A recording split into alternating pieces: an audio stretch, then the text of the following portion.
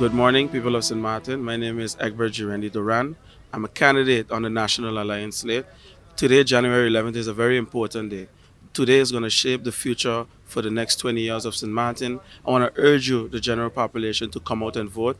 This is my third election third time participating in the parliamentary election, and I must say I can feel the energy from the population over the last couple of weeks in wanting to vote, in wanting to let their voices be heard. Do not waste the opportunity. It is your democratic right. Come out and vote. Come out and vote for St. Martin. Vote for your future. Vote for your children. Thank you.